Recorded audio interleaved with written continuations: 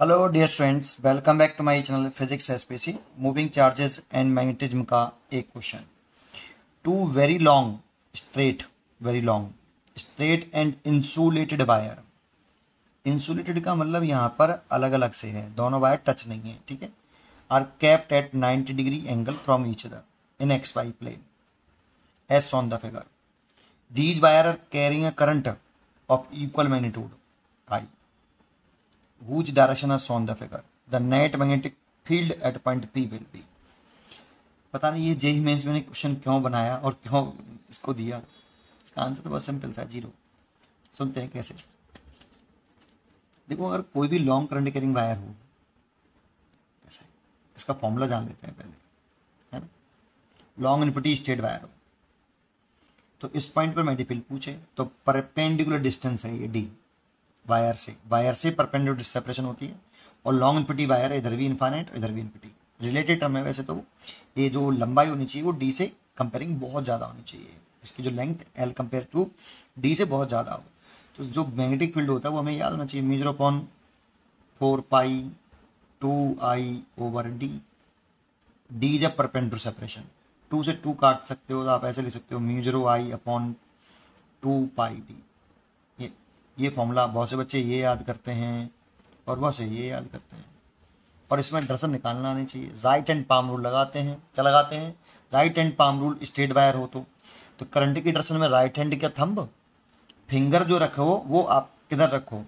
उस पॉइंट की तरफ़ रखो, जिस पॉइंट पर मेडिफिन निकालना है। ऐसे और फिंगर ऐसे। और पाम के परपेंडिकुलर आउटसाइड में, बाहर की तरफ़ मल्टीप्लीकेशन बाहर की तरफ़ होनी चाहिए। पाम के परपेंडिकुलर होनी चाहिए और बाहर की तरफ़ होनी चाहिए। दर्शन। देखो, थंब कंट्री कंटिन्यूशन में फिंगर ऑब्जर्वेशन पॉइंट की तरफ़ जिस पॉइंट में मल्टीप्ली निकालना है तो पाम के परपेंडिकुलर तो नीचे चला गया बेटा, ऐसे देखो, ऐसे ऐसे नीचे चला गया। है ना? नीचे दर्शन आ गई तो ये नीचे की तरफ़ दर्शन है। तो यहाँ पर मल्टीपल डाउनवर्ड है। चलो, ये नहीं दिखा, ये दिखेगा आपको।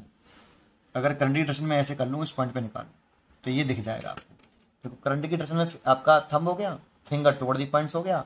अब पाम ये है, पाम के परपेंडर बाहर की तरफ़, ऐसे। तो दर्शन अब बढ़ आ रही है बेटा, बाहर की तरफ़। इसीलिए इस जगह पे मल्टीपल दर्शन बाहर की तरफ़ आएगी।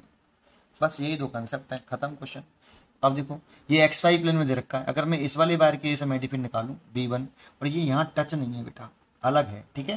पूरा स्टेट वायर ऐसे है, और ये स्टेट वायर ऐसे है। उसने बोला है इंसुलेटेड वायर्स इंसुलेटिंग नहीं बोला। इंसुलेटेड मतलब अलग अलग वायर्स ठीक है?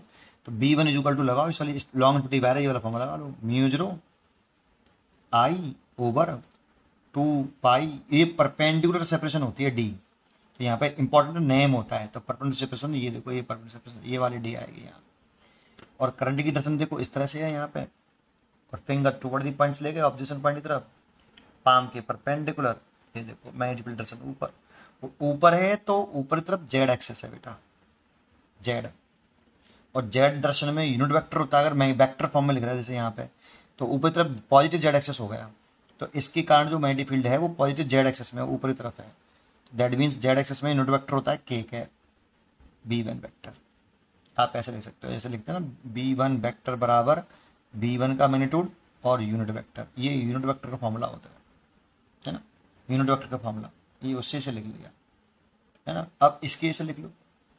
इसके से मैग्नेटिक फ़ील्ड करंट दर्शन ये फिंगर टूवर्ड दी पॉइंट्स इधर। नीचे तरफ़ आ रहा है। पाम के परपेंडिकुलर तो नीचे जाएगा बेटा। तो नेगेटिव जेड में जा रहा है। तो B two vector equal to mu naught I current same है दोनों में, और परपेंडिकुलर सेपरेशन भी वायर से दूरी पर बराबर है। तो टू पाई डी और नेगेटिव जेड एक्सिस के अलोंग है ये। नेगेटिव जेड एक्सिस के अलोंग है। नीचे तरफ़ है तो माइनस का के क्या है। ये। और नेट मैग्नेटिक निकालोगे तो बी नेट वेक्टर बराबर कितना?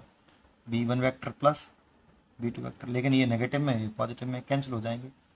Mu zero I two pi D के कैप माइनस का mu naught I upon two pi D के। कैप ये माइनस आगे आ जाएगा ना तो इसे कट गया तो नेट आया ज़ीरो ए ज़ीरो ये देखते ही सॉल्व हो जाता है।